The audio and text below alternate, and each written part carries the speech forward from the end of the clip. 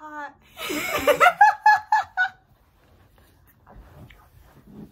Hi, I'm Kristen, I'm Karley. and we decided that we're gonna show you our two BRs from now TBR. until. Mhm. we're gonna show our TBRs from now till June, Mhm. and we have a, quite a few on there. Mm-hmm. So this Don't is, know if yeah. we're gonna read them all. on. This is a stretch. It's For a big stretch. I see her like books over there, and it's like a lot. I and that's not even all of them because I'm reading some on my Kindle. Are you? Do you have any on your iPad? Yeah. Well, all of the, I well, So from now until June, um, I want to finish the Zodiac Academy series. Um, so right now I've read one through four of Zodiac Academy, and then I'm doing like the recommended read where I read those and then the Ruthless Boys series. which I did not do.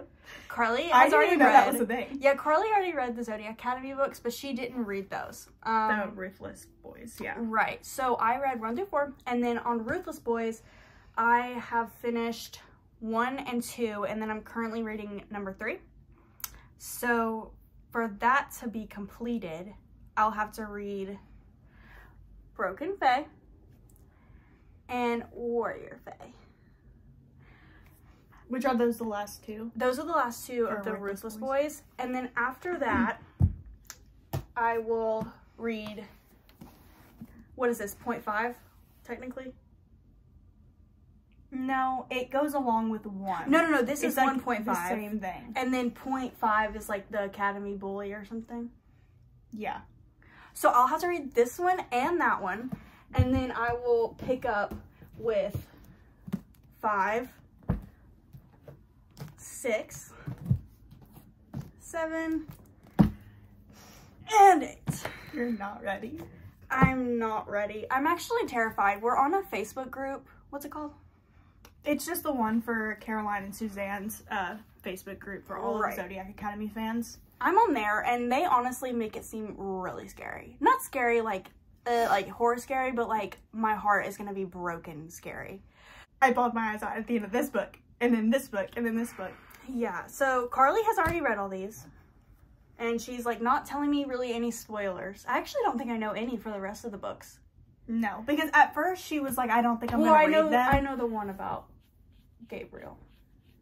Yeah, but that one's like a very small, minor. Well, that one I feel like they're giving a lot of context clues, especially in Ruthless Boys. Yeah. So I feel like anybody could really already see this coming. Mhm. Um, so that is what I will be focusing on first. so before I start any other books, this whole series is what I will be finishing first. So my next reads, which I didn't even have it pulled up, so let me pull it up. Love that you're prepared. What's it called? I don't know what you're talking about. Devil's Night. Why'd you ask what it was called? Which okay.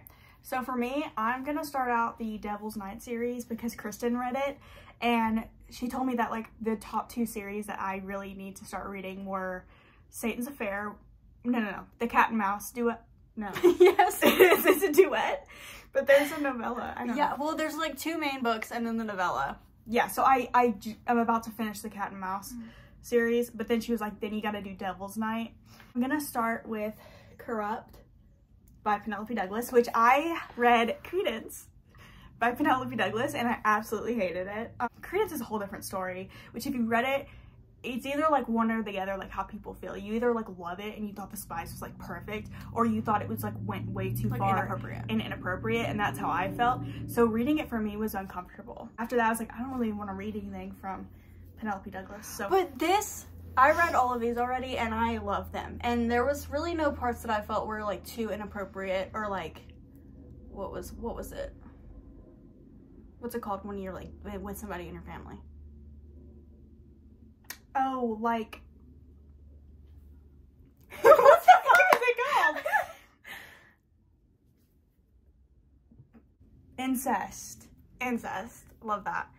Um, yeah, because when I read Credence, like that's the vibe I got from it was like, even though they're not blood, they still Because wasn't it like an they're uncle thing? cousins. Yes, it's her uncle, his sons, which would be her cousins. Mm. and I hated it. I, I, haven't hated read, it I so haven't read much. Credence. I don't think I will, honestly, but I, I love Penelope Douglas's like this series. Like Devil's Night, I loved. Yeah. Which how many books is that? It's four main books and then two novellas. So Okay. So I'm gonna tackle that first. I'm literally like 75% um, through um, Hunting Adeline, which is the last book of that series. So once I'm done with that, I'll pick up Corrupt. I'm going to finish this series. So I've got the other two up there. What series What's is that called? one? The Terms and Conditions? no, like the it's not. It's like oh. Dreamland Billionaires. That's what the whole series is actually That's what called. it's called? Literally. It's like these brothers. I would think like the term series no. or something like, I don't know. Because it's basically these brothers, the three brothers, they're all obviously rich, and their parents and grandparents owned a amusement park called Dreamland. And in order to get their inheritance, they have to like fulfill their grandfather's dying wishes. And so each of them have a dying wish that their grandfather. I feel like you summarized that so well. I am literally doing so good. yeah, you're No, doing great. So, um, I've already read the first two, and so I will be reading this one next. I have it. I'm ready. Um, I don't love the series, but I'm slightly OCD, and so I already have the other two, so I might as well just finish it Yeah. and have like the complete collection. After I do the Devil's Night series, I have to really decide what I want to do after that. That yeah, Because it's big. So, of course, we read ACOTAR. I feel like we wouldn't be like good like fantasy romance readers if we didn't read that. Yeah. So everybody's saying uh, you have to do Crescent City and Throne of Glass, like that whole thing, because apparently they're all going to connect at some point. So I read Throne of Glass a couple months ago, and then I picked up the new covers um, for the series. So I got Crown of Midnight, and then someone said that I should read Crown of Midnight and then Assassin's Blade to like explain her situation growing up and why she's an assassin. So, What is Um, that like a prequel? yes. It's like it's just her oh, it says novellas. It literally says novellas on the front. Throne of Glass novellas. And that one says Oh, novel. I guess it's a novella, but I'm gonna be real. Novellas are supposed to be like smaller, and they're the They're- same size. No, that one's smaller. The whole Crown of that Midnight novel. smaller. Yeah. Well, it's like that whole book is a whole bunch of novellas and not just one, maybe. Because it says novellas. yes. Okay, in the back. It's like a collection. which I didn't know this. It says included in this volume: the assassin and the pirate lord, the assassin and the healer, the assassin and the desert, the assassin and the underworld, the assassin and the empire. I thought that said dessert, and I thought that says underwear. So I guess there's like what is that? Five novellas in one. Makes sense. I've never seen anybody do it this way, but I guess it makes sense. So, so yeah, I'm gonna tackle these two after Devil's Night. So you're starting with that, like that. You're for sure. Yeah, because okay, Sarah J. Maas. Everybody's been saying she's putting out another book this year, and Did you see the Crescent City thing? no, The third Crescent City, she just released on some other website, like over in the UK. It's coming out next year, so that's literally the next book. Is Crescent City three. well, everybody knew that because she literally was like, "I'm not doing ACOTAR," and Throne of Glass was supposed to be done, and then she just announced that, you know, actually, I don't think I actually want it to be done. Yeah. So, she, I knew she was gonna do another Crescent City, but I didn't know it was gonna come out. I thought it would come out later this year. Mm-hmm. Are you gonna be splitting up the Throne of Glass series? Because you also have other stuff that you want to read. But if you read these two, are you gonna go read other stuff, or are you gonna try to finish it? Yeah, I'm gonna split it up. Okay. Just because Throne of Glass is a like monster of a series, it really is. See, that's why I don't know if I will. I think when I tackle it, I'm gonna do it all. I want to be like in it. That's what I'm doing with those. don't like that it's YA. I'm just not that type of person. When I read YA, I feel like I'm 15 again. So I don't know if I could set aside that huge amount of time. Gross. I don't know if I could set aside that much time to go through the series because I think I'm gonna start missing like my romance novels or like my sense. thriller novels. I forgot it was YA to be honest. Yeah, it freaking sucks. I don't know why she would do ACOTAR. Well, somebody said that like eventually there's a little bit of romance at the very end of the mm-hmm. series, but I don't know which books, and I also don't think it's like ACOTAR vibes. I think it's No. like little hints here and there.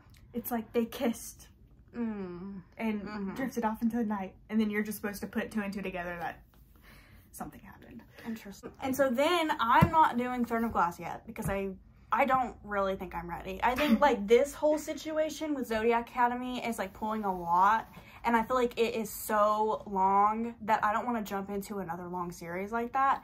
So I'm going to do Crescent City. I haven't read it yet. Um Good luck. honestly, I am really debating because I am not an audiobook person. I hate audiobooks. I don't like them at all. I don't like the way like every time I've ever tried to listen to one, the person that is reading it, like their voice is not at all what I imagine. Yeah. And so then I'm sitting there and I'm really not listening to it and I hate it and I'm just not an audiobook person. So I'm going to try my very hardest to get through this like by myself just reading it. If I can't, I will try the audiobook version because I I know it'll be worth it to end up reading it, but I want to read it really badly. I'm just really scared. Everyone on TikTok is scaring me cuz they're acting like they they act like this whole part of the book is worthless and then this is where it gets good. Like that's what people act like and I really That's what it is. because everyone says it's a lot of world building, which I get that. I just don't want to be bored because Once you finish that and then we get through the second Crescent City, we should film a review because I have a lot of thoughts on that book, but I don't want to say it in this video. well, But I don't want you to spoil it. yeah, I don't want to spoil it either, but it's just that book was like rough for me. And I love Sarah J. Maas. I read the entire ACOTAR series like all the way through. That was like the one series that got me into reading again. So this is first. Obviously, after I finish this, I will. Well, this this is gonna be like my next. Yeah. So like we'll group this together. This is what I'll read after that, and this is what Karley will read after Throne of Glass. So after Throne of Glass, I'm gonna jump into this one. I've had this book like sitting with me for like how many months? Like what? Like seven or eight? You bought it like a long time ago, I bought it a long time ago.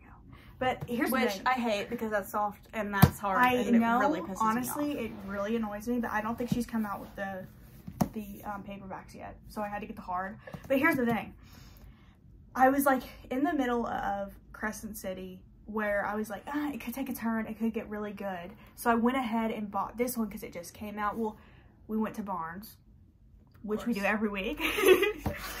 and she had just come out with them, and there was like one or two left. And I was like, oh my gosh, I have to pick it up.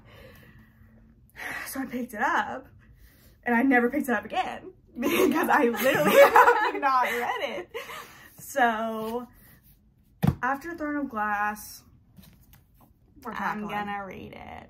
Sarah J. Maas lately, she's been she's been writing a lot and writing like not anything at the same time. Like Mm. That's so she's saying a lot, but it's really saying nothing. looking at the size of it, like 75% of this book is probably gonna be worthless, and then 25% is gonna be like intense. So after Throne of Glass, I'm reading this, and then after Crescent City, Kristen's reading this. Yeah. If I have some time in between, or you know, all this to like, let's be honest, this is subject to change. If these if these Zodiac Academy books don't fulfill me the way that I need to, these this order will change. Um, and I have a couple of books that like I've wanted to read for a long time. I've been holding on to them. If those books aren't good, I will pick up Isolation. We'll show. This is not an official cover. This can't be an official cover. Isolation, which is it was a fanfic, right? And and it, it was Hermione. it was on Wattpad, right? I think so. Yeah. So it's a Hermione fanfic. Um, I want to read that one. I don't know if I will, but I also want to read this one, and I have no idea how to say this title. Manacled. Manacled. mhm. Um, they're both Hermione fanfics. I just don't know which one I would want to do first because honestly, this one looks better. Just I like that cover. it has its own cover right. rather than the This one one looks like- definitely copyright violations has to be. Yeah. Um look at that. They put their names, Tom Felton and Emma Watson. like as if they're like actually in it. Um yeah. So I do want to read those eventually. I don't know if I will. It depends. I mean, where I'm setting myself up really big here. Yeah. For all the way till June. The well, hold up the Zodiac Academy pile because I mean it is a Well, monster. And we're missing one. The the We're origins missing of a bully or whatever the freaking heck it Yeah. is. This whole pile. Um, so I mean, I've got a lot to read. Mhm. That's just if I am not feeling these books or if I have like extra time. I also have two fillers that where like if I Mm. get bored with anything that I'm reading and I just need something different. So, um, Kristen doesn't read like thrillers. I don't think at all. I am not a thriller. Well, this is what I will say. I was not a thriller person, but I would personally, I would define the Cat and Mouse duet as a thriller, romance, all of it. Yeah. That's why I told Karley to read it because Karley does like thrillers. Yeah. And I was like, okay, this has like everything. Yeah. And I really enjoyed it. So maybe I will read thrillers eventually, but mm, I'd rather just read a romance or fantasy or something. I get that, but like adding in thrillers every once in a while, like honestly makes reading way more enjoyable because it's just different genres where it's like, I don't know, because it's it's always on like a mind fucked, fuck, mind fuck. Mm-hmm. You know what I mean? Mm-hmm. hmm Like there's always like this crazy Twist at the ending. end, yeah. Yes. So for thrillers, I have The Silent Patient by Alex Michaelides. I read The Maidens. I really liked that one. Um, but I also am like such a big fan of Riley Sager. I like have read most of Riley Sager's books except for like one or two. Um, so I'll read that one like as a filler whenever I need it. And then also I got Twisted, which is the a Never After novel. I have read all of the other novels for this like collection and I didn't even know this one existed because they didn't have it at our Barnes for like ever. So Literally, we looked up. I didn't the- even know it existed. We literally looked up the series, and this is like it was just sitting there on the website or whatever it was, and I had never seen it before. She had never No. seen it before, and we were so confused because I literally have never seen it. Mm. And then all of a sudden, we went to Barnes the next week, and it was because there. I think we were googling like I was googling just to make sure I there was one coming out in the future, and then when I googled it, it was like this was number two or three, and the last one she came out with was Wretched, and I already read that one, so this will be another filler. I love these. I think they're so like they're fast reads for me because it- they're just completely different, but also it's taking a spin off of like these like Disney or childhood like familiar stories. How many books is that total? So six, eight, nine, eleven. Honestly, props to the girls that are like, I read 30 books this month. I'm like, I literally don't know how you do that and Mhm. function. okay, one, two, three, four, five, six, because the other novella, seven, eight, nine, ten, eleven. Eleven I books. have 11. Uh, okay. Um, so yeah, we're definitely gonna beat our reading goal. If we if we get through all of 11, I don't think we will. I think we can do it. Honestly, I think I've got a really good chance because Zodiac Academy, I'm not gonna lie, I'm flying through it. I i'd read every single day at this point just to get to these books. And I think that I think it's doable, honestly. I think the ones that I might not get to are probably the Hermione romances and all of that.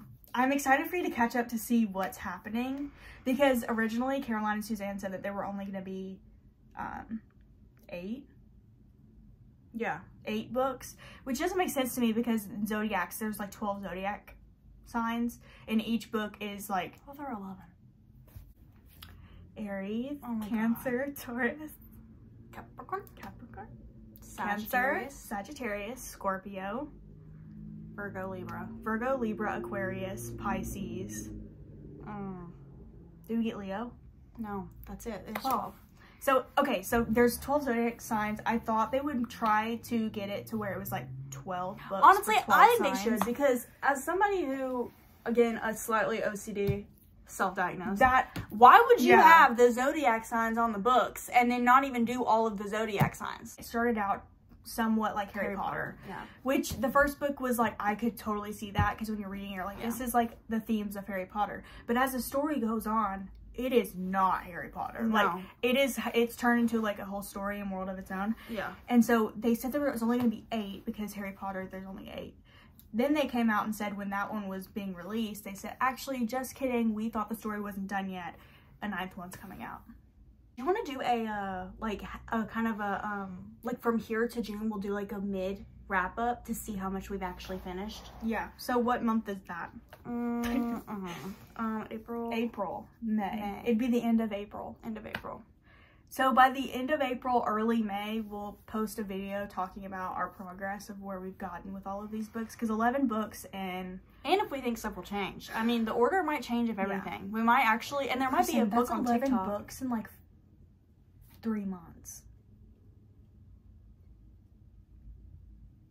You know what? You know what? I'm kind of feeling like I'm going to stretch myself a little too thin because now that I'm really thinking about it, I've only read seven and it's March. That's three months. We're gonna try. I'm telling you right now, though, if this one holds me back, I will skip it, and I stand by that. Yeah. Um, if you like this video, give it a thumbs up, like all the YouTube girlies say. Um, and just let us know what you're planning on reading for the next few months.